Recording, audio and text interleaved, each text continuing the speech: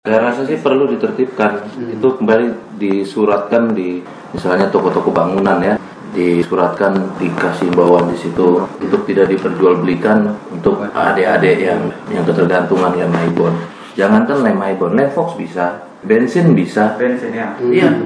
Kemarin kita pas Kapolres juga bicarakan ada yang baru lagi kalau nggak dapat lem mereka pakai bensin. Buset. Iya.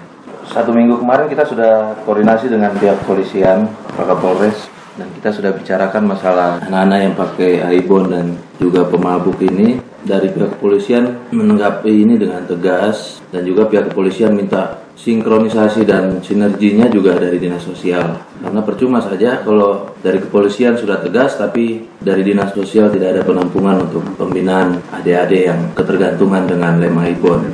Jadi dari dinas pun harus bersinergi kerjasama dan juga satpol pp ya.